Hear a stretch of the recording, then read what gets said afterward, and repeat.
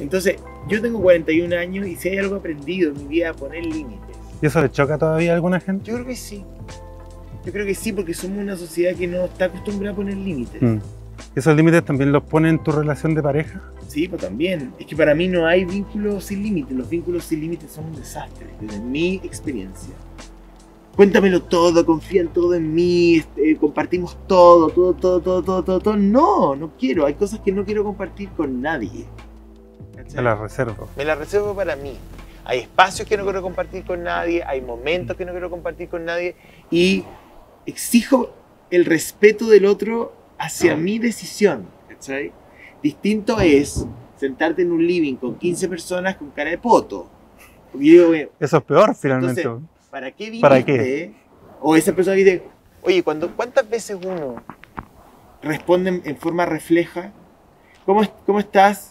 Bien, ah, ya. De repente uno puede decir, ¿cómo estás? Pésimo. Ah, ya, qué bueno. O sea, nunca escuchó la respuesta. Porque probablemente no, No le interesaba no- estar no ahí. estaba interesado. Y está perfecto, pero si no quieres escuchar, no preguntes. Y entonces yo no pregunto. Y me dicen, ah, qué maleducado, qué raro, qué apático. Pero sí, bueno, no pregunto porque legítimamente no estoy en condiciones de poner atención. Entonces, ¿para qué voy a preguntar? Mejor le pregunto cuando realmente yo quiera saber cómo está.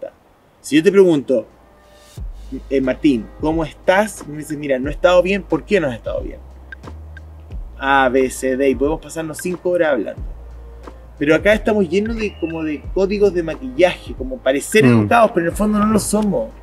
¿Y te gusta quizás también eso, como la conversación más íntima, que la grupal, como estar tomando un claro. Exacto, conversando? Me encanta eso. Con personas acotadas, digamos. Me encanta, sí, me gusta mucho. ¿Cómo, ¿Cómo marcha el amor, José?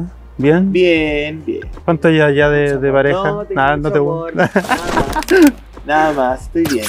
Eso te gusta también mantenerlo bien, bien reservado todavía, pero no te interesa nunca. encuentro que no es relevante. ¿Es porque no es una persona No, me- conocida no, o no, porque no, no, no, no, yo no, en general no me siento muy cómodo exponiendo mi relación Mm. y ni agradeciéndole el amor a través de internet. De repente veo a gente en Instagram. Bueno, cada uno usa su cuenta para lo que quiera. Sí. Yo no me siento identificado con ese tipo de expresiones. No estoy criticando, pero yo no me siento. Yo no. Hoy, gracias, Pedro, Juan, Diego, Felipe, por el amor que me das. y. Me gusta 3.000 personas. ¿Por qué tengo que compartir esto con 3.000 personas? O sea, eso yo lo digo a una persona. Igual de repente se te sale tu, tu declaración de amor. Sí, en- bueno, en general también, porque en el fondo el, el amor es universal. Uno puede, es un tema que uno puede encontrarse con los demás en una experiencia amorosa. Hablar de la experiencia amorosa, pero no tengo por qué revelar quién, con quién, en qué circunstancias. Creo que eso es un. Yo lo. yo, eh, es algo muy preciado para mí. Entonces, mi forma de protegerlo es no hablarlo públicamente.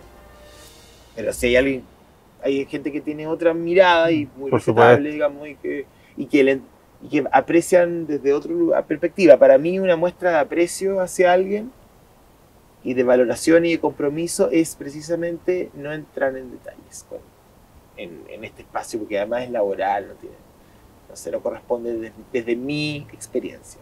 Siempre hablo de eso porque, porque es una decisión tan personal. O sea, estamos hablando de políticas No, públicas, estamos hablando de cosas muy personales. Sí. Entonces, lo- los demás pueden tener una mirada completamente distinta. Eso.